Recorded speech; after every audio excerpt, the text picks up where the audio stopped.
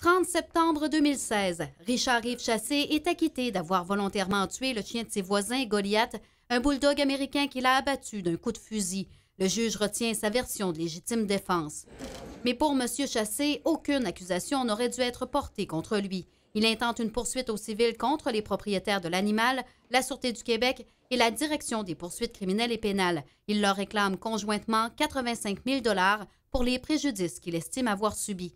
Sa demande vient d'être rejetée par la juge Doris Thibault. Le harcèlement qu'on a subi. Dans sa décision, la juge note que les preuves sont insuffisantes pour conclure que les propriétaires de Goliath sont à l'origine du harcèlement dont Richard-Yves Chassé prétend avoir été victime. Les agissements des policiers et de la direction des poursuites criminelles et pénales mis en preuve par M. Chassé ne démontrent pas non plus, selon elle, que des fautes ont été commises. La juge attaque aussi la crédibilité de Richard-Yves Chassé en soulevant le fait qu'il a menti à plusieurs reprises au cours de l'enquête policière et donné des versions contradictoires. Elle écrit C'est lui qui a fait dérailler l'enquête policière par ses mensonges.